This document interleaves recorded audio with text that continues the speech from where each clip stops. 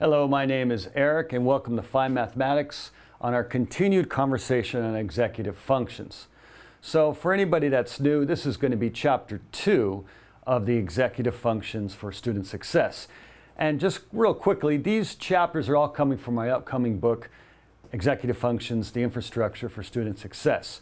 So, in these videos, I'm giving you just kind of the, the raw components. There's no anecdotal information or examples in these, just the raw components of that. And soon the book will come out that'll have all the, the uh, examples and other stories and stuff to kind of elucidate the points and the importance of it. But for today, we're starting chapter two. And chapter two is tools of the trade. And like the saying goes, what are the tools of the trade we need for student success? Well, it's going to be from everything we need on a daily basis. Now, you could think about from the last chapter, like the environment and the desk and things like that. Yeah, that's all part of it. But these are things that we're going to need daily or relatively daily. But before we go into that, I need to bring up the importance of this. Without the tools of the trade, they can become obstacles that just really slow down and impede a student success.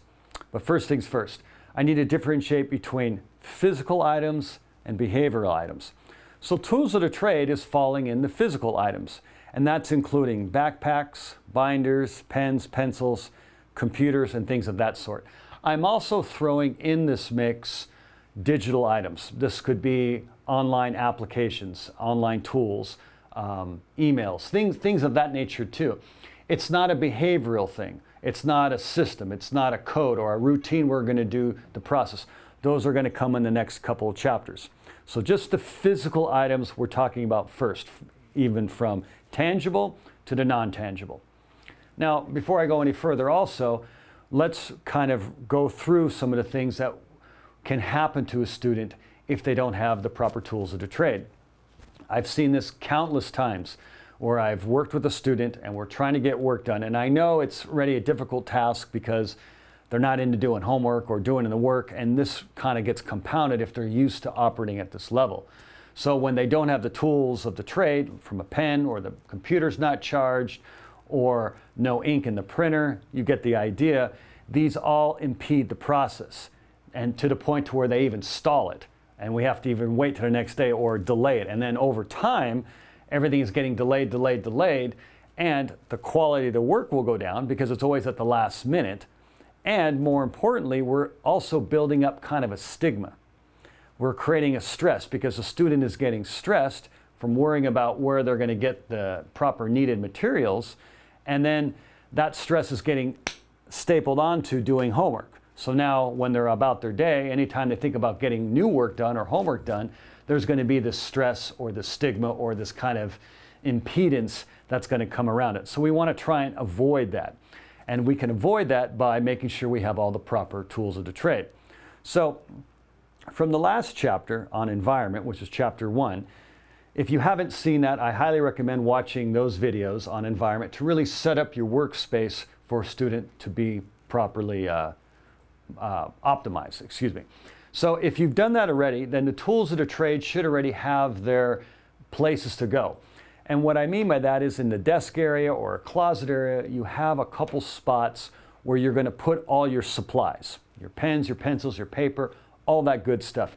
And I'd recommend leave those areas, a drawer or two or a closet, leave them just for supplies. Remember, function first. We're setting up the environment, we're setting up the tools of the trade, and eventually the whole executive function process infrastructure for the student for success this should take precedent. So most people and most students in their drawers, they may have stuff from years ago, personal items. I would just say, move this stuff somewhere else. And if you've watched the other uh, chapter on environment, I've given you tips on how to go through to organize your stuff. And also, more importantly, this is a great time to kind of get rid of a lot of stuff you just don't need anymore. So, if you've set up your environment, you should already have a spots allocated to put all your system, uh, all your tools of the trade in place. The nice thing about that is when it's organized and it's really um, right at your workspace, the student can easily access the stuff quickly on a moment's notice. And it's also easy to notice when it's becoming depleted. Now, as a little side note, these executive functions are and these, this whole series is really for student success.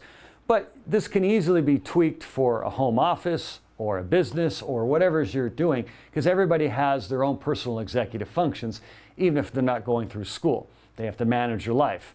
And like I'll be running kind of a, a motif through this whole book and this whole series is um, executive functions aren't just for school. When a student finishes high school and they go to college or go to work or whatever they're planning to do, you're not just going to forget about these. These hopefully will become the infrastructure which you start building other layers of your life on top of and managing things. So my point is you can easily tweak these things. So the list that I'm going to provide at the end of all this all these videos for this chapter, I'll have my list of just the basics for student needs. These are very basic stuff. Um, but I'll put them at the very end of these videos so then you can just pause it and you can take a list of that. And eventually I'll make them available somewhere. But these are just, once again, just the basics of student needs. If you feel like you need some more, that's always great too.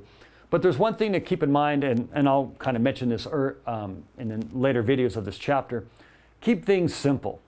We want to keep things simple and compact and as few things as possible. We want to minimize it. That way it's easier to maximize the success.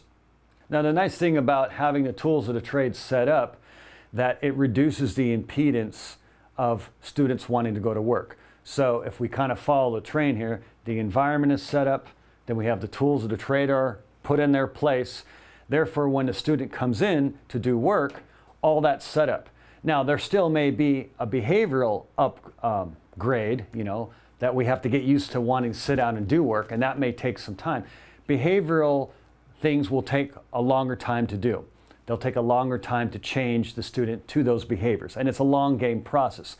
But we don't want to have the simple stuff like going out and just making sure we have the right supplies getting in the way. This way, once again, we can start to kind of grease the wheels so when the student sits down at the workstation, which we've engineered, and the supplies are there, the only thing that's in the way now is getting the work going. There's no other obstacles, and these are relatively simple to do. Now, the counter to this is, as I've already mentioned, if we wait and don't have the tools of the trade, and we don't have the environment set up properly, then the quality of work will surely go down because everything's going to be at the last minute Everything's usually going to be done in a haphazard way and with whatever materials are happen to be available. This is going to make studying in academia not a fun thing. It's going to put a negative stigma on it. And then more importantly, which is what we're trying to counter with this whole book I'm doing, the student success, is we're not reaching the student's maximum potential. Okay, thank you very much for watching this first uh, chapter two video on the tools of the trade. And I hope to see you again in the next videos. And remember, enjoy the process.